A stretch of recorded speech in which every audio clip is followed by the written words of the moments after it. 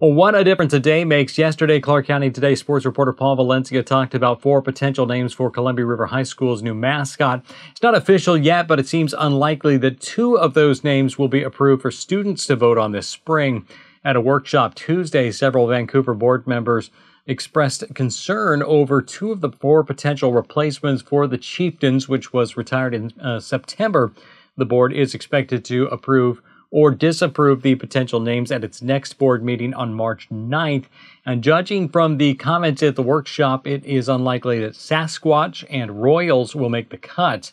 There seemed to be no concern with the other two possibilities. The school could just use its CR logo and go with River or the Columbia River Rapids. The board members said they do not want to replace one controversial name with another, and Sasquatch and Royals could be seen as controversial by some. For more, see Paul's story at clarkcountytoday.com.